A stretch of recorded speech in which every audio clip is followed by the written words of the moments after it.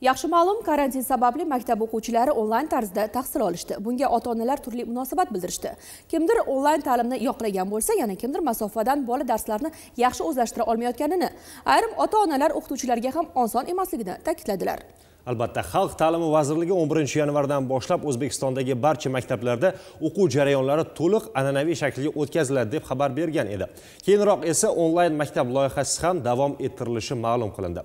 Xo'sh endilikda maktabga borish hamma uchun majburiy bo'ladimi? Muxbirimiz lobar mirsoatova bu savolga javob oldi. O'quvchilar uchun bugundan uchinchi chorak ham boshlandi. Bilamiz ushbu chorak eng uzun va hal qiluvchi davrni o'z ichiga oladi. 11 yanvardan maktablarda to'liq an'anaviy ta'limga o'tilishi ham e'lon qilingan edi. Ammo ota onalarning fikrlari inobatga olinib masofaviy ta'lim ham saqlab qolinadigan bo'ldi. Jumladan poytaxtimizdagi mavjud 318 ta ta'lim muassasasida e, maktab o'quvchilari uchinchi chorak darslarini boshlashdi.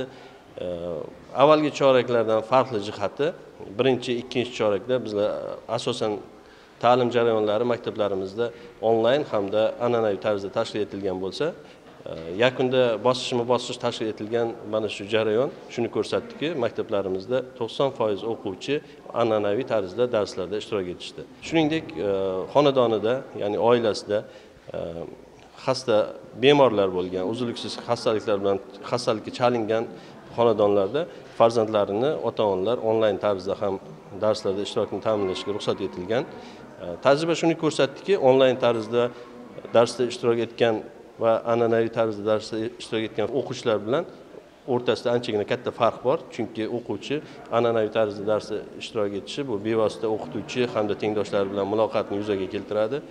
Zamonaviy texnologiyalar asosida onlayn tarzda darslar yo'lga qo'yilgani bilan aslo bu an'anaviy darsni o'rnini bosa olmasligi ko'zga tashlandi.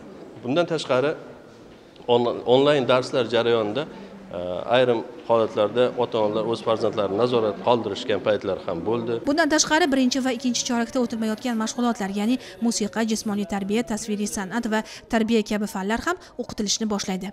Avvalgi choraklarda e, kiritilmagan ayrim fanlar qo'shiladi. Bu masalan o'sha chizmachilik texnologiya musiqa Э, jismoniy tarbiya fanlari э, shuningdek besh tashabbus doirasida maktablarimiz barchasida to'garaklar faoliyat ko'rsatadi. Shu o'rinda aytib o'tamiz pandemiya davri hali davom etmoqda. Shu sababli maktab ma'muriyatlari ham karantin qoidalariga qat'iy rioya qilgan holda mashg'ulotlarni davom ettirishga harakat qilmoqda.